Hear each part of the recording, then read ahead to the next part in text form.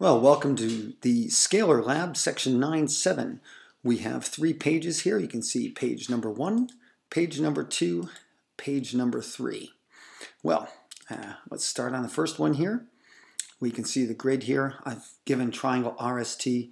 We're going to read the coordinates from, well, from the graph. I put it in the first quadrant to make it easy. Look at R. That looks like 2, 4.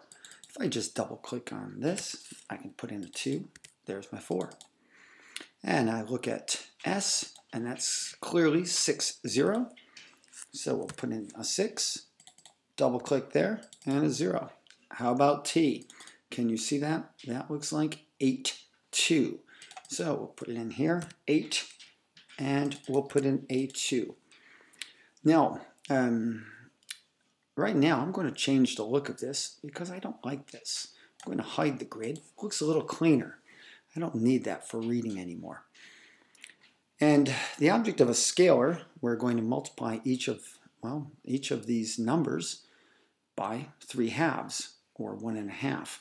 Now, some of you have shown me that you're a little weak in your fractions. You young people don't use them anymore. Just a reminder, this is how it works. Remember, 3 halves of 4, for example. That's 3 halves times 4.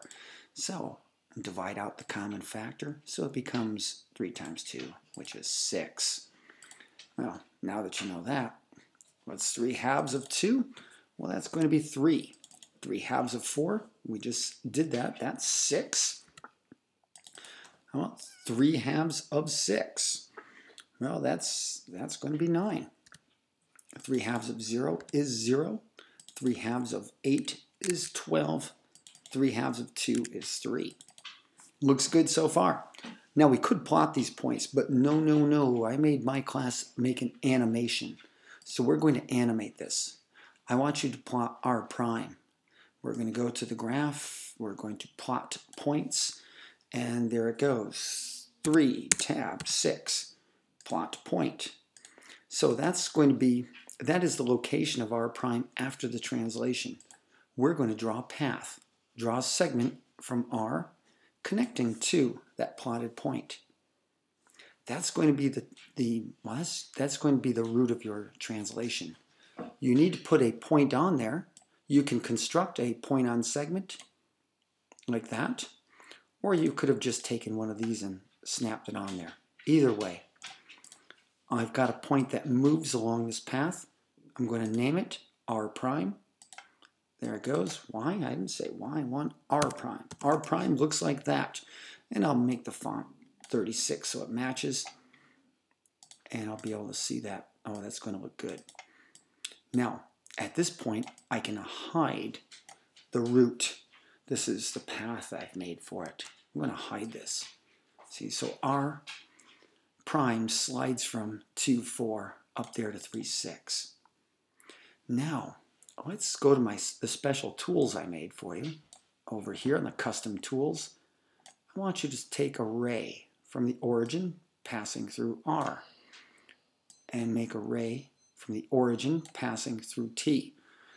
These dilations are about the origin. They only work this way if they're about the origin. And let's see what I've got here. So um, I want to make the sides of my new image triangle. Select R prime, select RT, construct parallel line. There you go. This point where it intersects your dashed ray here, that's going to be, as you would have guessed, that's going to be T prime. Not Z prime, T prime. T prime, that's excellent. And now we're going to, I'll just do a little test here. So we move like this, looks good. I'm going to click now, well, I guess I'm going to draw a segment, R prime, T prime. If you're on version 5, your construction line just went dashed. But right here, I'm going to select the original line, and I'm going to hide it. Right Now, select T prime and ST, construct parallel line. There you go.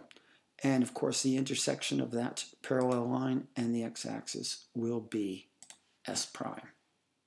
So let's put it in there. S prime. And you're just about there.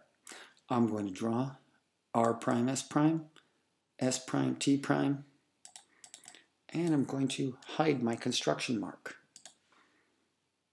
And I can, you could check this, and if I look here, s prime certainly is at 9, 0. t prime is at, well, looks like 12.2 to me. And we're going to build an animation. Select R prime only. Edit, action button. Animation, we're going to go forward once only, and well, you can go other or you can just go fast. Will be good. And hit OK. Right now an animation button appeared off the screen, so I moved it over for you. And there you go. Press that button, and you can actually see this figure move.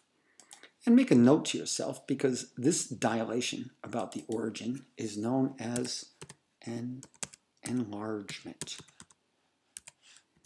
Oh, M-E-N-T. There you go. Make a note of that. So your teacher will want to know. All right, that's great. You're done with page one. Let's go to two, and we'll speed it up. Page two, we're going to plot these points. We're given W, G, and Z there, so we'll go to graph, plot the points. Oh, negative 9, and just hit the tab, 3, plot. You see it appear. 12, tab 9, plot, first quadrant, 6, tab negative 3, and, and let's see, we're down there. Going to have to move the scale down there in the fourth quadrant. Maybe I'll just move this. There we go. And we'll say that's W is, is over here.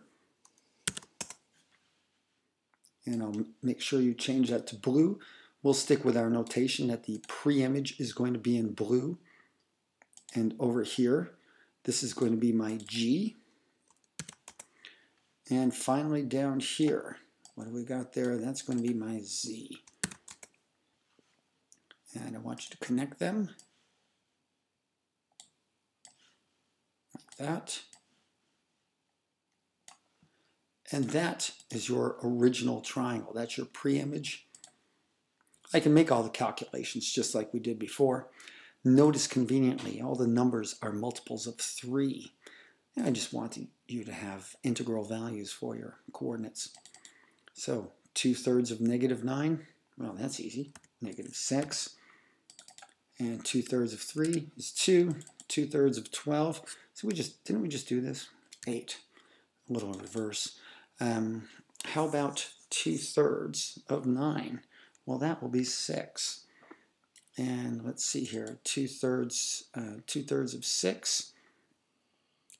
And what, what did we just, what did we say that was? That's going to be 4. And 2 thirds of negative 3 will be negative 2. Right? Well, to do this an easy way, I'm just going to double click about the origin. Let's not animate this one. We're just, we've already done that once. We got the idea. And I'm just going to select the entire figure this time, just like this, the whole figure. And we'll go to the transform menu. We're going to dilate. Uh, one half is a default, but we're going to select two thirds. And there we go. While it's there, let's uh, while it's still highlighted, let's go to display and color it red as we like with our image. And it will be already labeled correctly, W prime.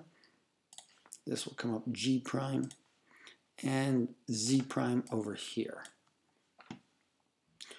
If you'd like, you could put draw your rays and you'll notice when you draw rays, each of the points and its corresponding image are collinear with the origin. You'd expect that. So that is, well, I think, I think we're done on this page. Let me see. Yeah, I think we're done. If you want to confirm your points, you can, uh, you can show the grid and you can make sure, oh yeah, that's eight, six, and you can see and maybe count a little bit better. Personally, I like that um, I like the grid off. And now for your notes on there, make a note that this is a reduction. Nicely done. Okay, one more page. Now, this one is an interesting, uh, interesting construction. We are going to simulate, we're going to use a computer to simulate a manual construction. Well, so, which we're then going to enjoy with a computer. This is funny. Um, remember, the objective here, I mean, I could just dilate this whole thing with a few clicks, but I want you to see if, I want you to emulate using a uh, straight edge and ruler. Take your ray tool, just like you would if this were on paper. Connect P to each of the vertices. Now you're going to extend that ray at least twice as far as the distance from P to the given point on the pre-image because you're going to make a dilation of 2 to 1 here. Then we're going to do it manually. Well, simulated manual. And this is how you would do it. You'd then pick up your compass and you'd put the needle on each of the points, for example, the L, and you'd swing an arc through this P and you'd find the point up here where it intersects. Well, you'd probably need to move that compass now over to N or each of the in turn. You're going to swing that arc and swing it like this. You would do this to each of the four points. And what you're doing is you're finding the points that are you know, equidistant, um, say from N to, in this case, P, back here to N prime. Or another way of saying it, you're doubling the distance. N prime will be twice the distance from P as N is. Well, you don't have these little compasses built into your program. So I'm going to make them go away. And you can't use those arcs either. They're pretty, but you can't use them. So I'm going to, um, let's see, how do we how do we erase those? We're going to erase the traces there. Control B, display, erase, Control B. So they're gone. Instead, you're going to use this neat little tool I made for you, a compass swing. You're going to put the needle on the L. You're going to swing an arc through P. That compass will also swing through this point. And I can swing it through that point right there. And I'm going to call that point L prime. Well, we're going to do this again. From Y, swing it through point P, and you can see where this arc swings through my ray. That's going to, that would be Y prime. So mark it Y prime. Then, well, a couple more. From N, swing your compass through point P again, and we're going to label that point. That will, of course, be N prime. And one more. From X through P, and this is X prime. And it looks like we're done, but we're not. Y, N prime, X prime, back to L prime. And you can see with the construction marks, just like you would have on your paper, you've got the construction marks and you've got your pre-image and your image. But the other thing I want you to do before you turn it in, I want you to manipulate this. This is what you can't do with your paper construction can't move your focus around. You can't move your center of your dilation. I want you to move it around. Watch what happens to the image. Move it this way. I can move P as on the outside. I can move P inside the figure, inside the pre-image, or I can place P on the image. Place it on any of the vertices and look at the resulting image. So get used to what a dilation, again, this is a two to one dilation. In this case, from the outside, from the inside, or from on. the figure. All right, well done. You, I enjoyed this one too, so um, make sure your name is on it and put it in the Dropbox. Thank you very much.